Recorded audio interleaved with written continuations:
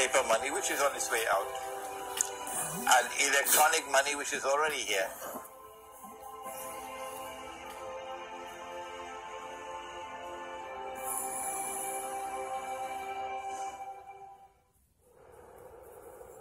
She thinks she's cracked the dome, doesn't she? But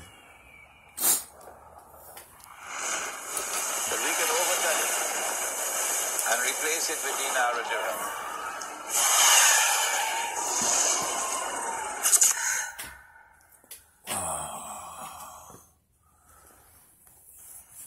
Under Gaddafi's rule, Libya attained the highest standard of living in Africa.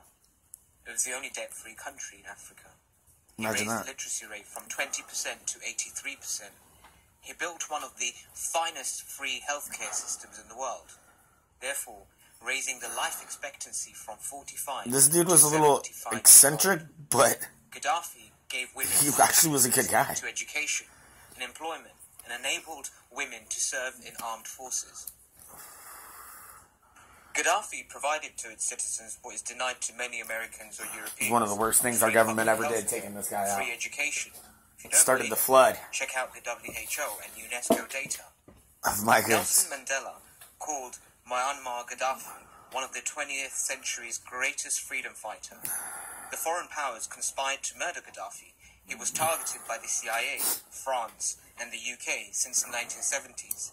He was an enemy of the Dajjal system, an influential enemy, and had to be taken out. So, I mean, that is the land of. I mean, yes, we came, we saw, he died.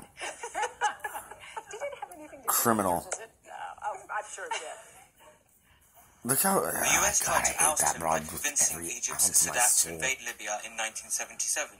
In 1984, the CIA supported as well as trained a special commando rebel unit which tried to dispose him.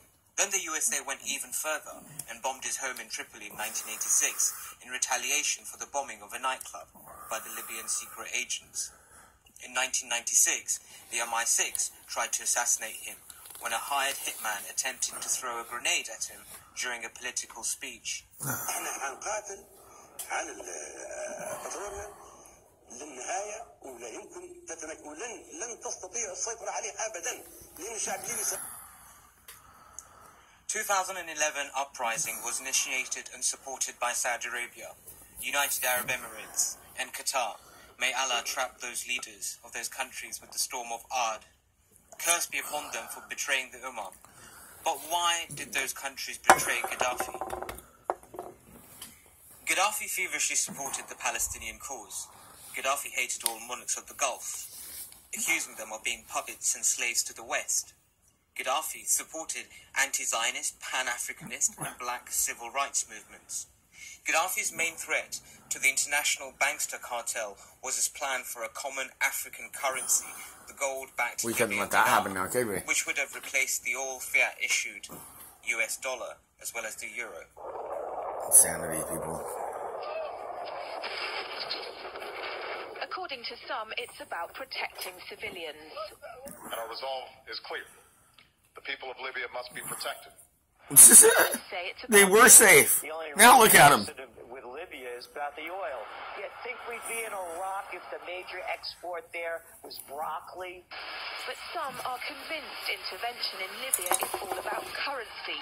Specifically, Gaddafi's It is. plan to introduce the gold dinar, a single African currency made from gold, a true sharing of the wealth. It's one of these things that you have to plan almost in secret. Because as soon as you Yep. say you're going to change over from the dollar to the something else, uh, you're going to be targeted. There were two conferences on this. nuts, one in uh, 96 and another one in the year 2000 called the World Mathaba Conference organized by Gaddafi. And uh, everybody was interested. And I think most countries in Africa were keen. Gaddafi didn't give up. In the months leading up to the military intervention, he called on African and Muslim nations to join together to create this new currency that would rival the dollar and euro. They would sell oil and other resources around the world only for gold dinars. It's an idea that would shift the economic balance of the world. Countries' wealth would depend on how much gold they have, not how many dollars they trade. And Libya has 144 tons of gold. Oh, the UK man, has that's a lot of double that, dude. but 10 times the population. If Gaddafi uh, had an intent to try to uh, reprice his oil or whatever else the uh, the country was uh, selling in the global markets and accept something else as a currency, or maybe launch a gold dinar currency, any move such as that would certainly not be welcomed by the power elite today who are responsible for controlling the world's central banks. So yes, that would certainly be something that would cause his immediate dismissal and the need for other reasons to uh, to be brought forth for removing him from power. It's happened before. In Yep. 2000, Saddam Hussein announced Iraqi oil would be traded in euros, not dollars. Sanctions and an invasion followed. Some say because the Americans were desperate to prevent OPEC from transferring Things oil starting to add up, people? all its member countries to the euro. A gold dinar would have had serious consequences for the world financial system, but may also have empowered the people of Africa, something black activists say the US wants to avoid at all costs. Gaddafi wrote the Green Book. His political philosophy advocates more political authority to the people and masses, free healthcare, housing and education, equal rights to women and blacks, freeing them from being slaves to the corporate elites. This powers, dude was a freedom fighter, man. You were lied to. So, people, instead of being slaves to huge multi- multinationals, they could form their own worker cooperatives and own their own houses and cars without massive debt. Most of the money in our economy is created by banks in the form of bank deposits. The numbers that appear in your account. Banks create new money out of thin air whenever they make loans.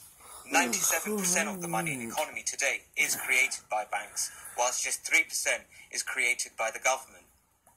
Banks can create money through the accounting they use when they make loans. The numbers that you see when you check your account. It's time for us to rise, my brothers and just account sisters. entries in the bank's computer. That's all. Every new loan that a bank makes creates new money. While this is often hard to believe at first, but it's common knowledge to the people that manage the bank. Sorry I didn't do a live stream today. I'm the money dead. in circulation today has no intrinsic value. Oh. For a just system, look at the sunnah of the Prophet Muhammad, peace be upon him. It's dinar and dirhams, gold and silver, something with intrinsic value.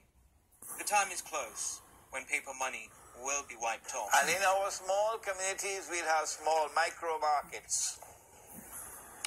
And in our micro markets, we will not allow the use of the haram paper money and electronic money. In our micro markets, we're going to use dinar and dirham. And when dinar and dirham are in short supply, when the police come and seize all our dinar and dirham, then we will turn to wheat and barley and dates and salt and rice and sugar. and what. They can't ban that, can they? So this is my solution. And right here in this hall, I have students. Right here in this hall now, I have students who are working actively to do precisely that.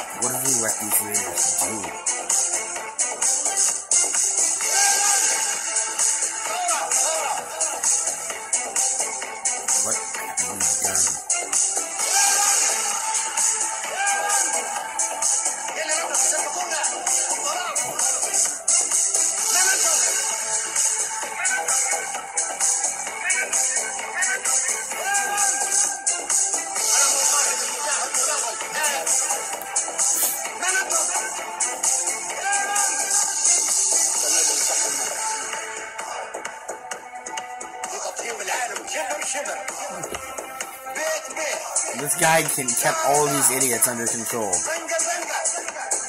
I mean, look at everything that's gone gone down since they killed him. The millions of people that have died.